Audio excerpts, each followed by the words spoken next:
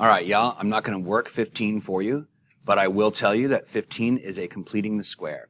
So this one is a completing the square. So what you need to do to get this going, um, this x squared plus 6x, do you see that? It's supposed to be 6x right there.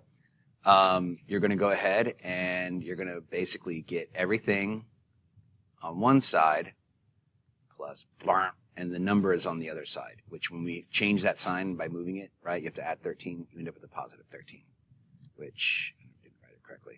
13 plus. Now you need to find that b over 2 squared thing to find the answer. All right. Going on to the next because I don't want to work it. It's the same as 13 and 14 in mechanics. All right.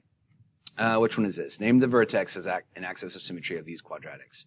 This is super important to me. Uh, one second, y'all. Okay, y'all, 16 through 19. I'm going to go ahead and work these uh, quickly. Um, check it out. Function, vertex, axis of symmetry, all that stuff. Look, this is just straightforward. Uh, what is my vertex? Remember, the x's always lie. The x's always lie. Axis of symmetry, x equals 2. My vertex, the x's always lie.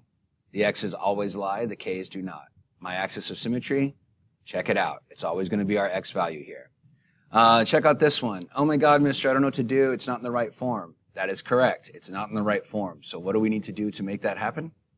I'm going to show you. I'm going to rewrite it in the right form. So I, I want you to understand how to rewrite this in this form. Plus 0 squared minus 2. Now you should be able to pull the information out of that. Uh, look at my x's. That's a 0. Um, and then that's a negative 2. And that means my axis of symmetry is x equals 0. That's how you rewrite these types of things. This one also requires a rewrite um, a little bit, and I'm going to do it right now. So that's a negative 1 times an x minus 8 squared.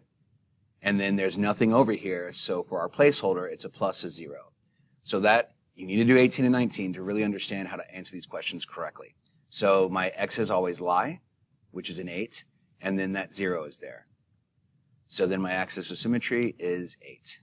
And there you have it.